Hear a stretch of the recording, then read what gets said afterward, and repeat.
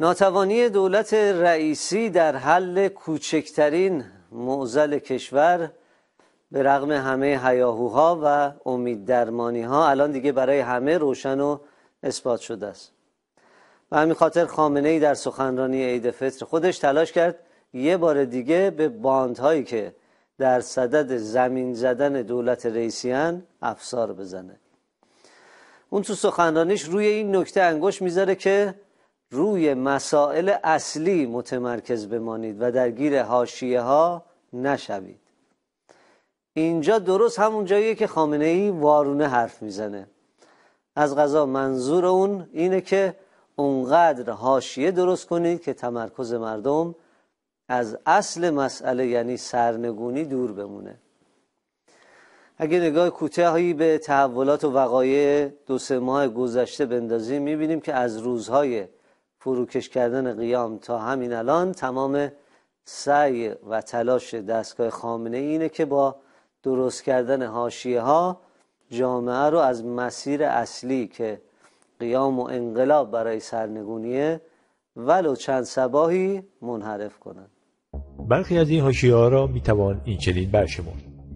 علم کردن آلترناتیو های قلابی در مقابل آلترناتیو انقلابی و مقاومت سراسری. بزک کردن و پروراندن پروژههایی مثل وکالت، خشونت پرویزی، شورای همبستگی و نمونه از این دست. تبدیل اجاب زنان و مبارزه با بیهجابی به عنوان مسئله اصلی روز. حمله شیمیایی به مدارس دخترانه و تلاش برای نگاه داشتن سطح اعتراضات در محدوده پوشش زنان و دختران.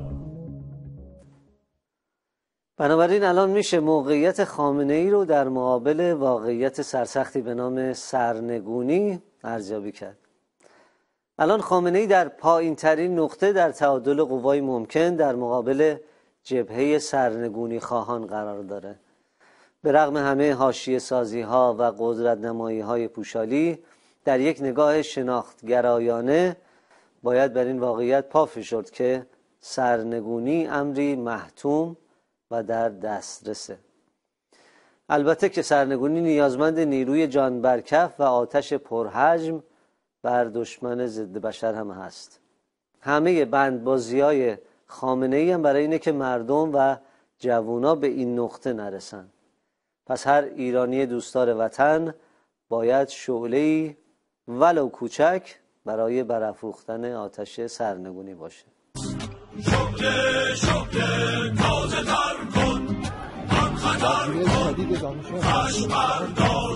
وقت رسم آمد و